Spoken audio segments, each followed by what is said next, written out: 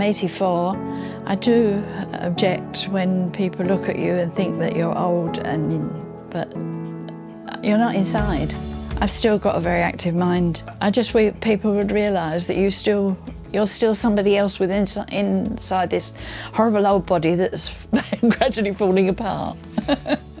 Suddenly found myself in a situation where I'd lost my youngest son and uh, my husband died within six weeks quite suddenly and I hadn't had my knees done then, I couldn't walk and I couldn't see very well because I had cataracts.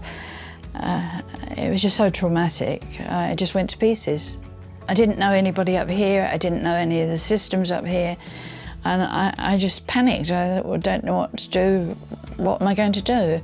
Um, I've always had David there, sort of 62 years we were together, so, you know, suddenly it, it, I was on my own.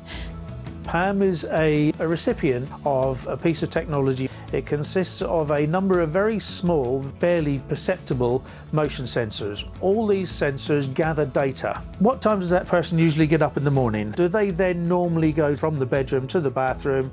Do they go straight to the kitchen? Do they put the kettle on? Do they open the fridge? So it's looking at somebody's lifestyle in the round.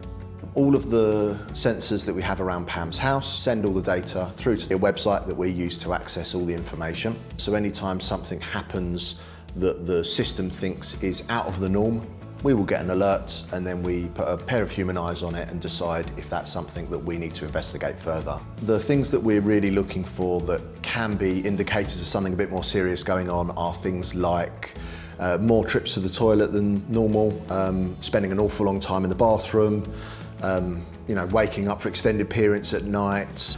The idea that we can put what amounts to some fairly simple tech with some very clever behind the scenes stuff into someone's home um, and know before they even realise that something is going on and we can get that help before it gets to a crisis point is the absolute crux of this.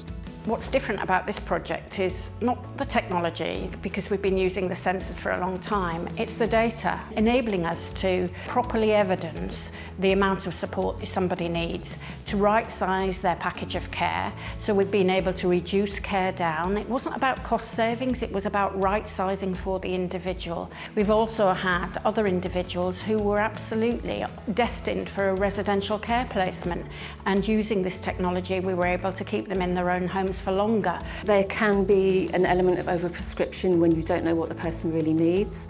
Um, so it's useful to know that you've got an extra level of assurance when people go and quite often families want that as well because if they live far away. The home-based care is about £19,000 a year and we know that residential care costs on average 38,000 and we know that the sensors that we're talking about costs about £1,000 a year.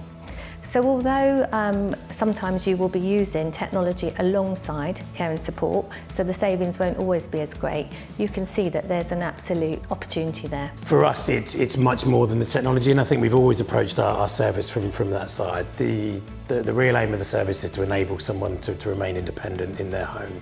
One of the key bits with Pam was around that, that ongoing support where we're able to link her in through, through weekly calls to um, gardening services, the, the social centres, the shopping trips, to, to build up communities. Being able to have just those, those tiniest little touches, those tiniest little interventions um, where we can just very gently refocus them in the right direction. It's those really small changes that actually make the real difference in people's lives. I, I can't praise Mole Valley enough, I really can't. I know that there is a system there that's monitoring me and I'm not on my own anymore. It is, it's a reassurance.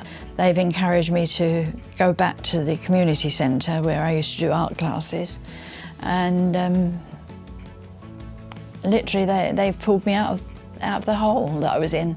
Everything has come together all of a sudden and I've got a new life.